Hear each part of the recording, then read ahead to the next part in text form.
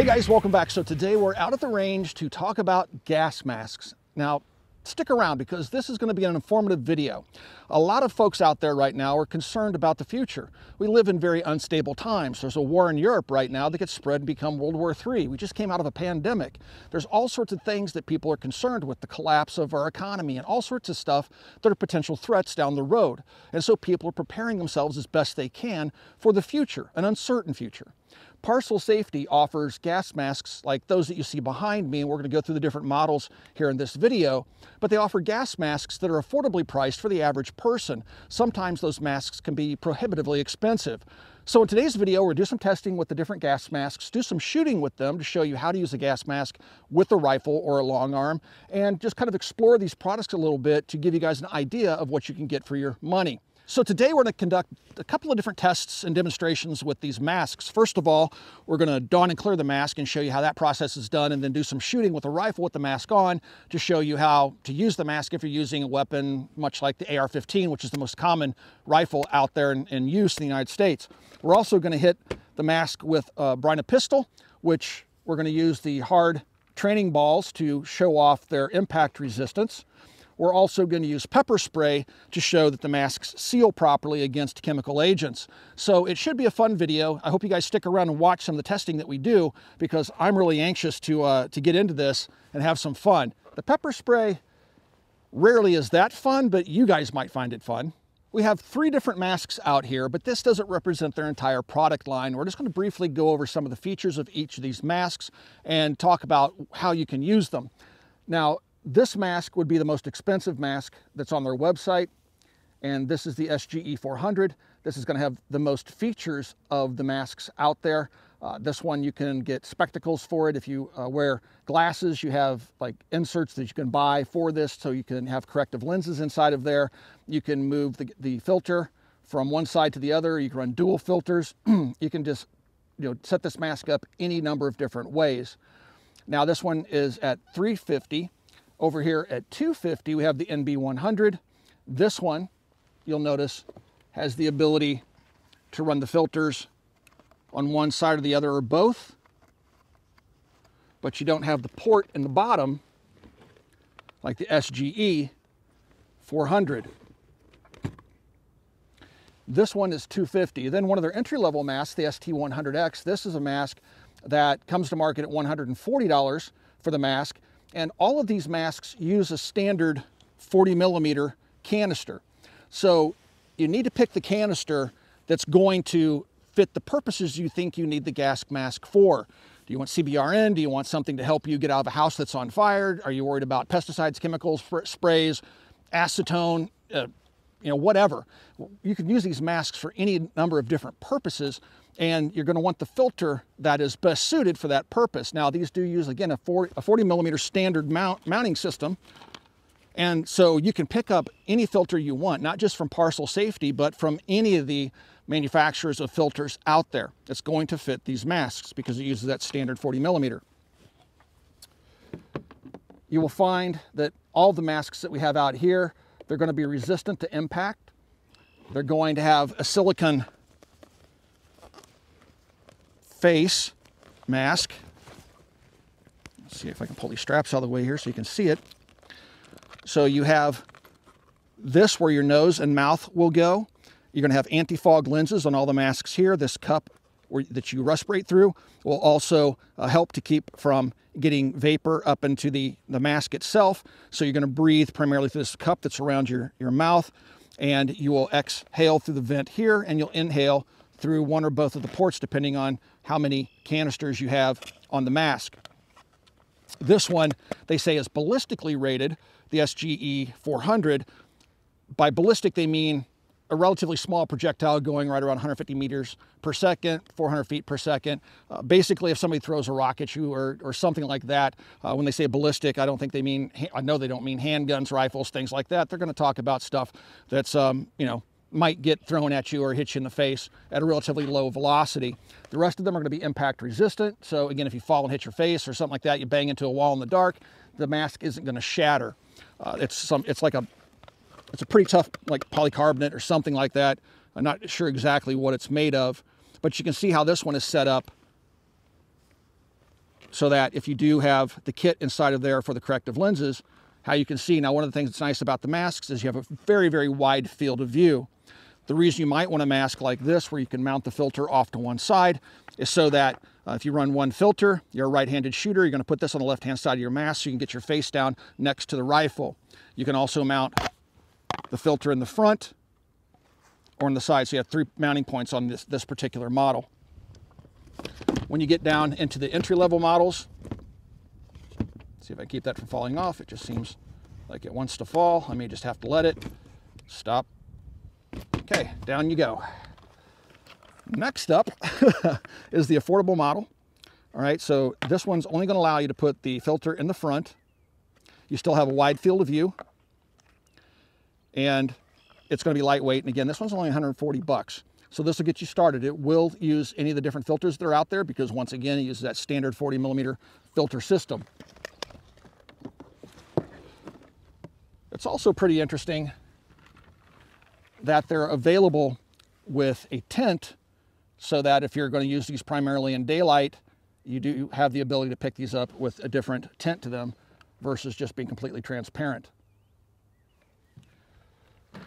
So when looking at the masks on their site, take a look at each of the masks and determine what your needs are. Are you going to be able to need to drink water? Are you going to be able to need to run a filter on one side or the other? Or are you fine with just running a filter in front? Again, pick the mask that's going to suit your needs and your budget. We would like to welcome Pad back to the channel, and he's going to be our uh, test dummy for all the stuff that we're going to do this mask this afternoon, and by proxy doing it to him as well. Uh, we will set this mask up here really quickly for you guys. So when you get these masks, they're going to be, they're going to ship in a basic configuration. Some of the masks will have multi ports. This mask has three different ports. This mask has two different ports for mounting your canister. So we're going to set this mask up for a right-handed shooter. This mask does allow that functionality. With just one filter, we're going to unscrew the top. We're going to break the seal on the bottom. And now this, this filter is ready for use. Now this is a filter from Parcil and it shows on the side all the different things that this particular filter will protect you against. Doesn't say pepper spray, but uh, hopefully that's one of those things. Has an expiration date on it. You want to keep it sealed, otherwise that expiration date's no longer valid. Now when the mask ships, typically if you have a multi-port mask, it's going to have this center port uh, open on that one, it has both ports closed. The reason you have one open and two closed is because you're going to repurpose one of these screws. So we don't want to put the, mask, the filter on the, the front of the mask. We're going to set it up for a right-handed shooter. So I'm going to put the filter on the left-hand side of the mask. I'm going to unscrew this port cover, screw it into the front.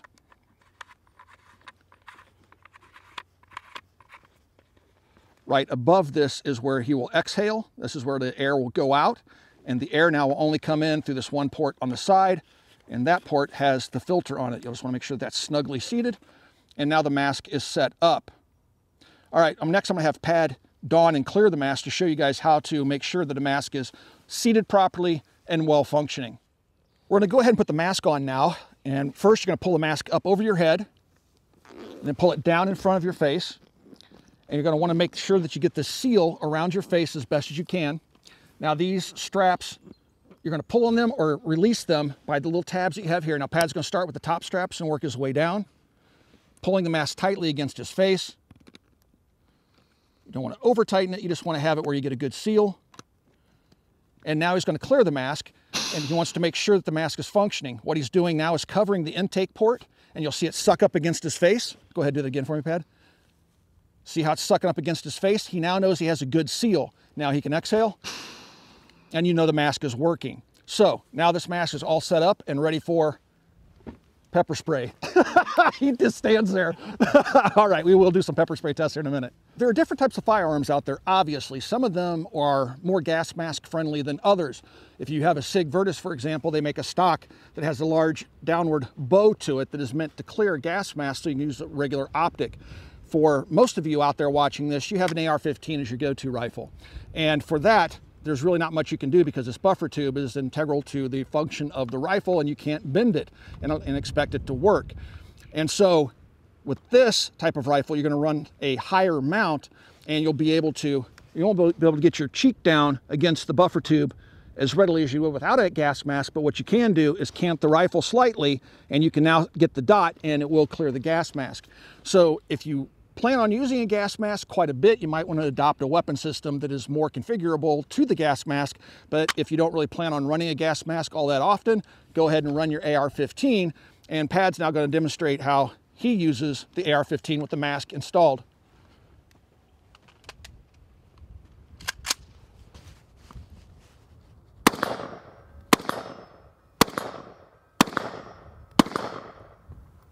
Here's the Byrna pistol, have a video on it, and you shoot pepper balls and things like that, pepper and CS mixed, but it also has training balls, and these little training balls are hard compressed powder, and we uh, confirmed zero, you can see where they splashed on the steel plate there. So these are moving at about 240 feet per second, and so we're gonna stand fairly close and we're gonna shoot the Parcil safety mask right in the face.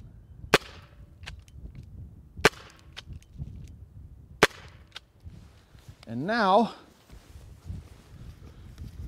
you can just kind of see where it hit, but I can rub it away.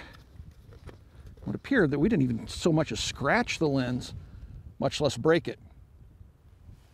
So this particular mask has a neckband on it so you can let it hang in front of you. Hey Pad, when's the last time uh, you went through the gas chamber? Uh, probably about 14 years since I qualified. Okay, well how about this? I have some pepper spray and I have a countdown timer. I'm gonna give you 20 seconds to don and clear that mask after I say gas, and I'm gonna spray you with this. Sounds good. All right, get ready. All right, guys, 20 seconds on the clock. Gas!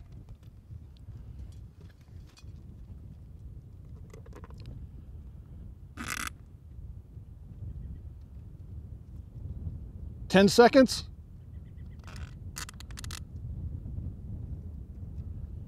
Five, three. There it is.